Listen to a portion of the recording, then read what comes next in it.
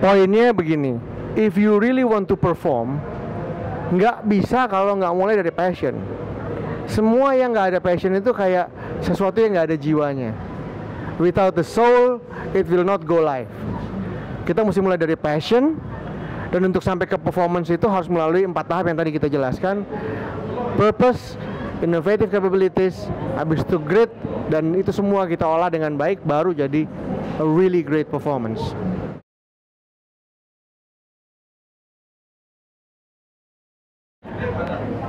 Indonesia tuh negara kaya karena memang buminya kaya. Namun yang belum kaya itu adalah cara berpikir orang-orangnya. Uh, one of the biggest challenge, tantangan terbesar kami di PT Indonesia lebih baik adalah membongkar paradigma bahwa kekayaan itu hanya bisa dimunculkan dari resources. Resources itu apa? Ya batu bara, ya tanah. Ya keren sih, punya ya nggak apa-apa. Tapi maksudnya kalau mau lebih keren, semua harus didasarkan jauh lebih daripada itu. Itu yang disebut dengan the power of idea. Value bisa dimunculkan pada saat orang lain menerima manfaat atas keberadaan itu. Itu esensi dari value uh, creation. nambahin yang disampaikan Rene barusan ada banyak hal yang mulainya bukan dari resources tapi ternyata terbukti bisa menjadi sesuatu yang hebat Facebook itu asetnya apa? nggak ada server doang tapi waktu divaluasi nilainya 104 miliar dolar. Karena punya satu miliar. karena follower. mereka punya follower satu miliar. Itu sesuatu yang tadinya tidak terbayang. Jangankan 10 tahun yang lalu 5 tahun yang lalu aja nggak kebayang ada bisnis sehebat Facebook bisa seperti itu. Tadi yang kita pakai contoh kita lebih suka contoh-contoh yang asli Indonesia. Keripik maici itu keripik singkong biasa yang dikemas dan dikomunikasikan dengan cara yang luar biasa. Mereka membawa value dengan lebih connected kepada semua customersnya. Akhirnya apa? Berhasil tuh. Mereka nggak punya toko nggak punya pabrik yang besar. Tapi bisa membuat begitu banyak orang punya penghasilan yang banyak karena berbisnis keripik maici. Dan kalau kita bisa lihat itu dan kalau kita bisa lihat itu dan kita bisa memanfaatkan itu dengan baik dan kita tahu caranya gimana supaya kita nggak nyerah dan jatuh di jalan. That's the key to successful entrepreneurship. Karena itu kita berdua ada.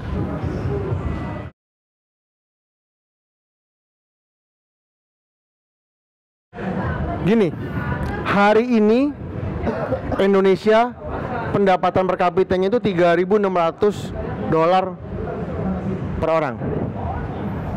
Pada waktu krisis 98, pendapatannya itu per kapita tidak sampai 600 dolar per orang. Artinya hari ini sudah lebih dari enam kali lipat pendapatan orang Indonesia tidak sampai 20 tahun yang lalu. 98 kalau ditambah 15 itu 2013. Jadi belum 15 tahun pendapatannya itu sudah lipat 6 kali. Artinya apa? Indonesia semakin lama semakin maju, semakin hebat, semakin luar biasa. Tapi yang dapat duit dari Indonesia orang lain. Ada begitu banyak orang dari luar negeri datang ke Indonesia konser. Ada begitu banyak produk dijual dari luar negeri ke Indonesia dan yang beli orang Indonesia dengan harga mahal. Orang Indonesia bayar konser yang sama lebih mahal daripada orang Singapura bayar konser itu di Singapura. Padahal biaya hidup mahalan Singapura pada di Indonesia.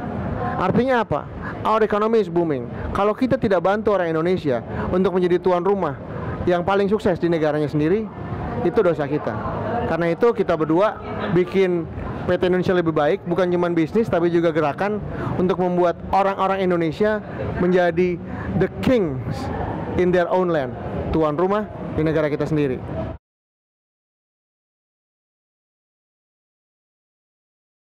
Nomor satu, jangan sampai keberatan dengan istilah entrepreneur itu sendiri.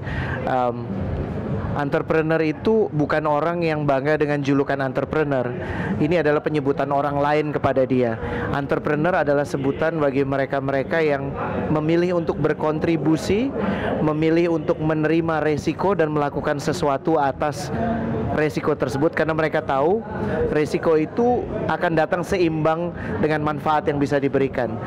Ini bukan orang-orang saya mengharapkan entrepreneur Indonesia itu bukan diisi dengan orang yang mengerti bagaimana menjadi kaya cepat, tapi adalah orang-orang peduli yang tahu benar dirinya sendiri untuk kemudian membantu orang-orang yang lain mengenali diri mereka sendiri sehingga masing-masing kita bisa saling tolong menolong dan membantu.